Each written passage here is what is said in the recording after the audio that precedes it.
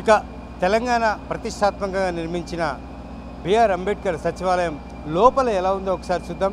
లోపల కూడా అన్ని రకాలుగా కూడా చాలా విశాలమైన గదులు ఏర్పాటు చేసిన సందర్భం ఒక ద్వారం ముఖద్వారం కూడా చూస్తే చాలా ఎత్తైన చాలా పెద్దని ప్రధాన ద్వారం కూడా ఎంత విశాలంగా ఉందో మనం చూడవచ్చు. మొత్తం నాలుగు డోర్లు దీనికి ఏర్పాటు చేశారు. ఇక్కడ ఈ నాలుగు డోర్ల నుంచే మంత్రులందరూ కూడా లోపలికి వెళ్తారు. ఇతర అధికార యంత్రాంగం లోపలికి వెళ్తుంది. దీంట్లో లిఫ్ట్ సౌకర్యం కూడా పెట్టారు. ఎంత విశాలంగా ఉందో ఒకసారి చూడవచ్చు. దాదాపు ఒక రెండంతస్తుల హైట్లో ఈ ఫస్ట్ ఫ్లోర్ని నిర్మించిన పరిస్థితి కనిపిస్తుంది.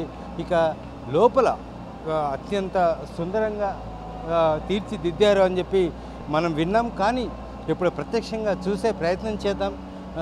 అత్యంత ఇది ఒక చరిత్రలో మిగిలిపోయే ఒక అత్యంత అద్భుత కట్టడంగా కూడా ఇటు తెలంగాణ ప్రభుత్వం వర్ణించిన సందర్భం అయితే మనం చూసాం. ఇక లోపల ఏ విధంగా ఉంది? ఎంత విశాలంగా ఉన్నాయో గదులు కూడా చూడవచ్చు. నిజంగా ఆశ్చర్యం వేసే విధంగా ఈ కట్టడం ఉన్న పరిస్థితి కనిపిస్తోంది. చూస్ చూ- చూడొచ్చు మనం ఎంత విశాలంగా ఉన్నాయో ఇక్కడ ఈ గదులు కానీ ఈ ప్రధాన ద్వారం దగ్గర ఉన్న డోర్లు కానీ ఇక ఇదే సెక్రటేరియట్కి రేపు ముప్పై తారీఖున ఆదివారం రోజు ప్రారంభోత్సవానికి కూడా ఇటు ముఖ్యమంత్రి దీన్ని సన్నాహాలు చేసిన పరిస్థితి కనిపిస్తుంది. మనం చూస్తున్నాం ఇది మనం ఇప్పుడు చూస్తున్నది ఇన్నర్ వ్యూ లోపల నుంచి ఏ విధంగా ఉంటుంది సెక్రటేరియట్ అనేది మనం ఇప్పుడు ఈ దృశ్యంలో చూస్తున్నాము. ఒక అద్భుతమైన కట్టడంగా కూడా అభివర్ణించవచ్చు. మొత్తం ఇది ఈ బ్లాక్ అంతా కూడా ఒక ఇక్కడ కూడా ఓపెన్ ప్లేస్ కూడా చూడొచ్చు మనం. ఓపెన్ ప్లేస్లో ఇక్కడ కొన్ని ఈవెంట్స్ జరిగే అవకాశం ఉన్నాయి ప్రభుత్వ పరంగా. అందుకోసం దీన్ని ఏర్పాటు చేసిన పరిస్థితి కనిపిస్తుంది.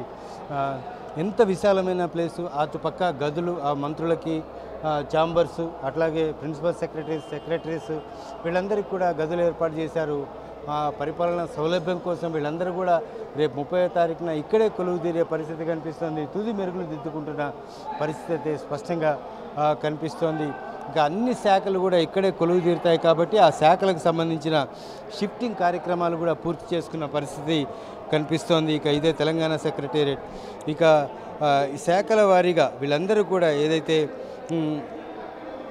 హోమ్ డిపార్ట్మెంట్ అట్లాగే ఇటు మైనార్టీ వెల్ఫేర్ డిపార్ట్మెంట్లు ఎడ్యుకేషన్ డిపార్ట్మెంటు అట్లాగే HMWS department planning department BCW department revenue department energy అట్లాగే department IT and information and technology department ఇవన్నీ కూడా ఇక్కడ కొలువుదీరే అవకాశం ఉంది కాబట్టి law department general administration department finance department ఇవన్నీ కూడా ఇక్కడే ఆ, కొలువుదీరనున్నాయి కాబట్టి వీటికి సంబంధించిన షిఫ్టింగ్ కార్యక్రమాలు కూడా పూర్తి చేసుకున్న సందర్భం.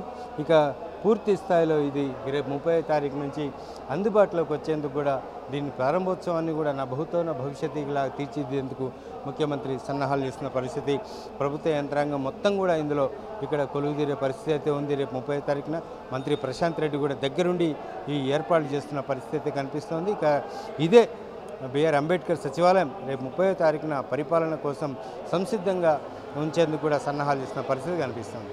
కెమెరా పర్సన్ రాజాతో హరికృష్ణ వన్ ఇండియా తెలుగు హైదరాబాద్.